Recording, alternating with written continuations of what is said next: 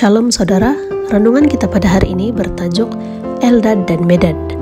Dalam bilangan 11 ayat 26 menyatakan, Akan tetapi ada dua orang tertinggal di perkemahan, seorang bernama Eldad dan seorang lagi bernama Medad. Mereka termasuk antara orang yang tercatat tetapi tidak turut pergi ke kemah. Walaupun demikian, roh itu pun turun ke atas mereka dan mereka bernubuat seperti nabi di perkemahan terdapat dua aduan baru di kawasan perkemahan itu. Punca huru hara itu adalah disebabkan keinginan untuk makan daging. Orang Israel bosan makan mana setiap hari. Musa berdoa dan bercakap dengan Tuhan mengenai perkara itu. Dia juga menyatakan kekecewaannya, "Mengapa engkau menyusahkan hambamu ini?" Mengapa tidak ada rahmat bagi hamba di matamu, sehingga beban seluruh bangsa ini kau tanggungkan kepadaku? Hamba tidak dapat menanggung beban seluruh bangsa ini seorang diri, karena hal itu terlalu berat bagi hamba. Dalam ayat 11 dan 14.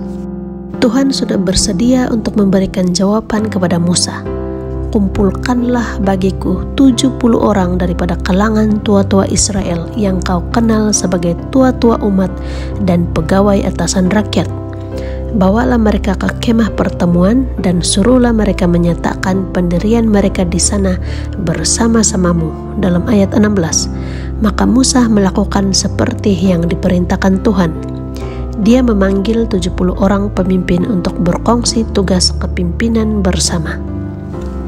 Tetapi Eldad dan Medad atas sebab yang tidak diketahui tidak pergi ke bait suci itu. Raja di surga mengetahuinya dan dia membaca isi hati mereka.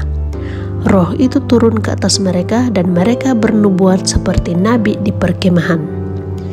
Adalah satu rahmat untuk mengetahui bahwa Tuhan kita adalah Tuhan yang memahami, yang tidak akan membuang seseorang hanya karena dia tidak hadir.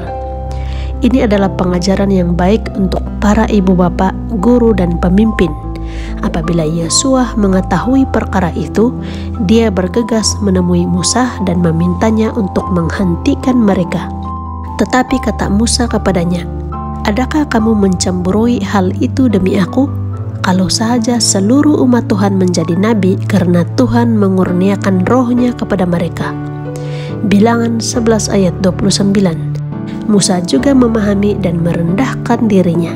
Marilah kita berdoa agar kita mempunyai roh yang sama seperti Tuhan dan seperti Musa. Demikianlah renungan kita pada hari ini. Tuhan memberkati.